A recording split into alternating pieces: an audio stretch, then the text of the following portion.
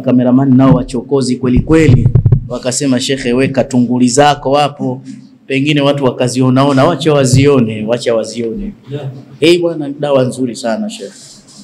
Hii dawa hii ya muonje kidogo, naanza baraka yake, bado sijaisema ni dawa ya nini. Anaanza Sheikh Muhammad, onja kidogo tu, akutambia ni dawa ya nini. Shekhe, wewe ushaionja, mpe Shekhe Hassan aonje, na mtangazaji atakaonje.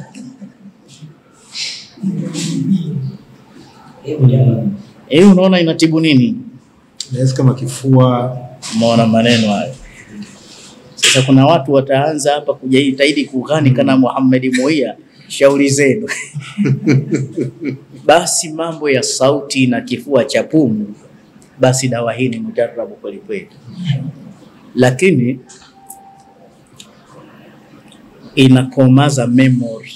Wale watu ambao wana matatizo ya memory, kuhifadhi vizuri na ufahamu, hii inasaidia kwa sababu ya asali na tangawizi imewekwa vidawa vingi karibia saba ndani yake, dawa nzuri. Basi watu wa pumu hawajairejesha.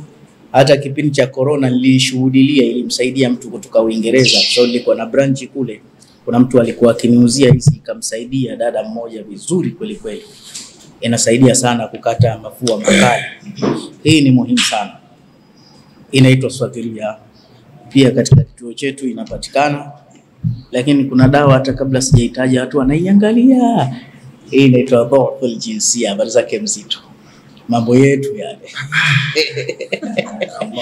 E, maanake hapa tushafanya Qurani kila mmoja Ah, muda wa waifu nirudi nyumbani, mambo yetu yale. Hii dawa hii ipo dhoful jinsia, ni kwa sababu ya kuimarisha nguvu. Utamu wa maisha huko hapo, wallahi la adhim.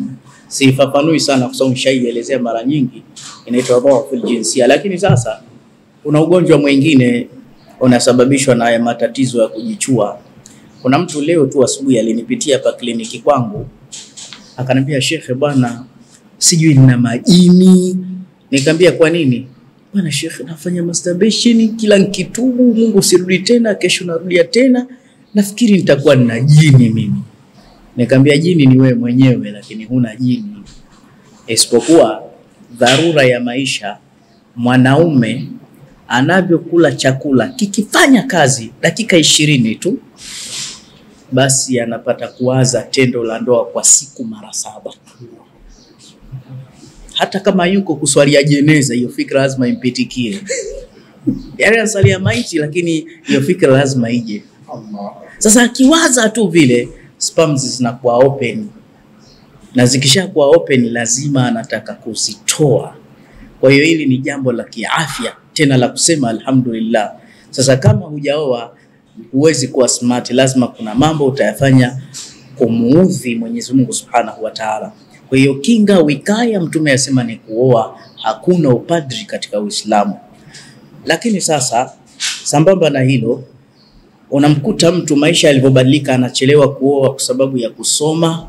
Sasa hapa katikati unamkuta mtu anajiua, anajichua kwa mikono yake, hawezi kujizuia, lakini athari za watu wengi waliojichua wanapata baadaye matatizo ya mikojo. Ukimwona mtu uzeeni, matatizo ya mkojo yanamsumbua sana, ni sababu ya masturbation. Lakini vurugu yake kubwa masturbation inasababisha mtu vile vile kufika safari yake haraka kweli kweli, tena ikiwa imekubuhu ile, yani mtu hajatolewa nguo kashamaliza. Hili ni tatizo moja kubwa sana na ni kesi kubwa sana na inawatesa watu wengi sana. Lakini ikiwa si hivyo, ni mtu maumbile yake aliyekupata usingizi lege lege sana kabisa kabisa kabisa. Lakini athari mbaya ambayo ni ya aibu ni mtu maumbile kuwa madogo yanaingia ndani, kwa sababu mwanaume kiungo chake cha uzazi kina sababu tisa ya kuwa kidogo. Uoga oga maji baridi, nchi hizi za baridi, inaingiza maumbile ndani. Kutokufanya tendo la jimai ya sharia kwa muda mrefu, pia mtu anakuwa na maumbile madogo, lakini masturbation inachukua kwa asilimia themanini. Yani mtu make tendo la laana, ni shabihu lizina, inafikia hata mtoto wake anamshinda. Sasa hapa unaweza ukaomba talaka Maanake mwenyewe anashuhudia kila siku, mbona mimi napungua, mbona nakuwa hivi? Hilo ni tatizo. Sasa pia tuliwatengenezea dawa yenyewe imeitwa twawilu ule walaqad khalaqakum atwala, tukasema tuwe na heshima kidogo, tusichukue islahi ya Qur'ani. Hii tuliweka ni kwa sababu ya kurefusha na kuchua yale maumbile. Kwa hiyo mtu akichanganya hii na hii anaweza akawa mzuri, kwa sababu ile nayo ni ibada, ile ile nayo ni ibada, na ukijua ni ibada, mwanamke kwa mwezi anawaza jambo hilo mara tatu, lakini akiwa katika kile kipindi anapata shida sana, japo hana faiba, lazima afanyiwe lile tendo, na asipofanyiwe lile tendo aweza akaugua au akapata athari kubwa kabisa. Ndio maana Mtume sallallahu alaihi wasallam aliivunja ndoa kwa sababu tendo halifanyiki. Yuko mwanamke mzuri wa Kiarabu kweli kweli, akaolewa na sahaba wa Mtume, usiku hawashughuliki kitu. Yule mwanamke akaja, ya Rasulullah, yule bwana hamna lolote. Mtume ambia bwana, vipi? Ambia hayo mambo mimi na mimi, baina ya mbingu na ardhi, siawezi. Mmeoa tu kuficha aibu. Kuna watu wanaoa hivyo. Mtume ambia talikaha muache huyu, hakuna ya Rasulullah, muache akaolewe sehemu nyingine. Akaachwa yule mwanamama. Sasa Umar akatoa fatwa akasema, Ibn Khattab radhiallahu ta'ala anhu, mtu tena tena, hili la mwisho, hili siongezi sasa, na hapa wanaume kidogo watanifagilia, maana siku zote asema nawaponda, watanifagilia. Jamani, kina mama eh, muwe na subira mwavumilie wanaume wakipata matatizo haya. Kama una uwezo wa kuvumilia maisha yote kuwa hivyo, hakuna neno kama unaweza kuvumilia. Mkituvumilia basi mnatustiri, shazana na watoto tena, tuvumiliane. Lakini kama mnashindwa kuvumilia, sheria inasema hivi, basi tupeni muda wa mwaka mmoja tujitibie mwaka mzima mtu ajitibia jitibia, akishakaa sawa, basi kama hajakaa sawa, anza kudai talaka.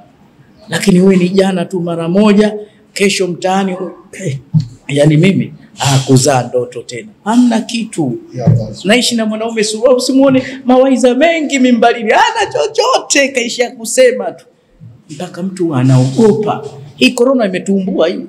Tumemshukuru Tume, baba yetu Magufuli, angetuweka lockdown sisi Maki kila siku unarudi saa nne usiku kazini, wala si ubize. Unajua leo nanga haipai leo. Sasa watu walivyowekwa lockdown, madudu mengi yamefichuka hapa ndani. Njoni mchukue zofu hizi hizi dawa za Kiislamu. Inshallah tukome hapa na tuzingatie Qurani iliyosomwa na Mwenyezi Mungu atuwekee yote haya katika mizani yetu ya hasanati siku ya Kiyama. Bifadlillah subhana rabbika rabbil izzati amma yasifun wa salamun Alhamdulillahi rabbil alamin.